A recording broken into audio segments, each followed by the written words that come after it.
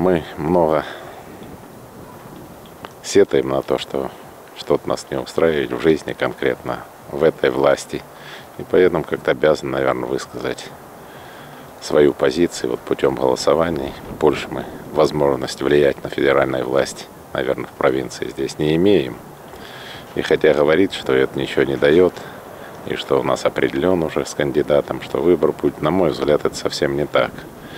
Я вот даже взять с мелочных вопросов, там руководитель организации выбирался я неоднократно, в депутат районного совета выбирался, сказал, такие небольшие мелочные должности. И то после того в выборах, когда смотришь, один вопрос, когда получишь 60% голосов на выборах, а другой вопрос, когда получаешь гораздо больше и что чувствуешь за собой силы, поддержку народа.